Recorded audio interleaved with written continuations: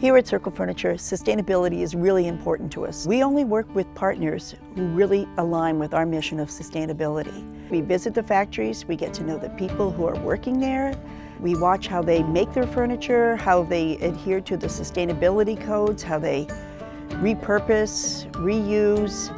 Circle Furniture is one of the founding members of the Sustainable Furnishings Council, so one of the first things we do before we take on a new partner is we give them a what's it made of scorecard and we work with them to make sure that it meets a standard that is acceptable. You know, another thing about sustainability is supporting your local economy.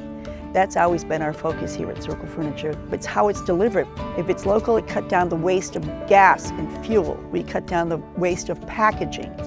Here at Circle Furniture, we're not interested in selling cheap disposable furniture. We're interested in, in the best quality at the best price that's going to last in your home.